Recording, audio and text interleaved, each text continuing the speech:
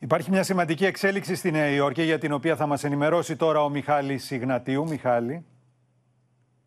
Γιάννη, καλησπέρα. Πραγματοποιήθηκε η πολύ σημαντική συνάντηση του Πρόεδρου της Κύπρου με την ηγετική ομάδα της ExxonMobil και παρά το γεγονός ότι συμφωνήθηκε το απόλυτο εμπάρκο για το περιεχόμενό της, έγινε γνωστό ότι ο Αμερικανικός κολοσσός παραμένει ισχυρά στην Κυπριακή Αποκλειστική Οικονομική Ζώνη στην επίσημη ανακοίνωση η Λευκοσία σημειώνει ότι κατά τη συνάντηση συζητήθηκαν θέματα που άπτονται το σχεδιασμό της εταιρείας στο τεμάχιο 10 της ΑΟΣ της Κυπριακής Δημοκρατίας, το οποίο δραστηριοποιείται η Axon.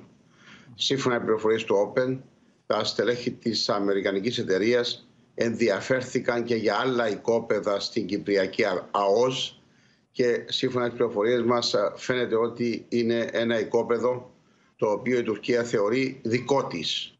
Εάν επιβεβαιωθούν οι πληροφορίες μας, θα πρόκειται για μια πολύ εντυπωσιακή εξέλιξη, Γιάννη. Ναι.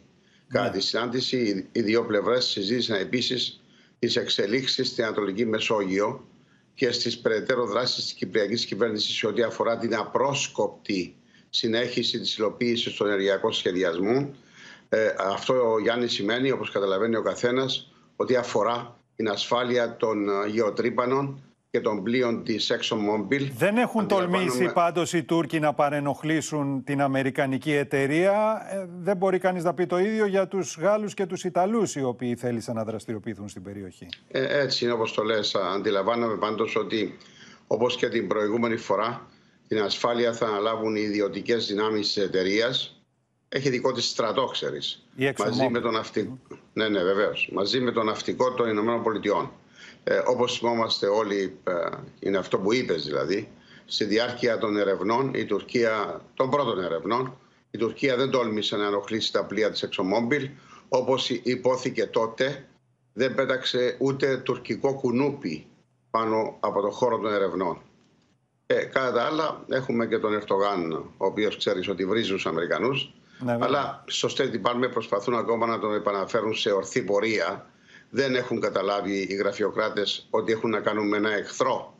Κάτι όμως που φαίνεται ότι έχουν αντιληφθεί από καιρός στο Λευκό Οίκο.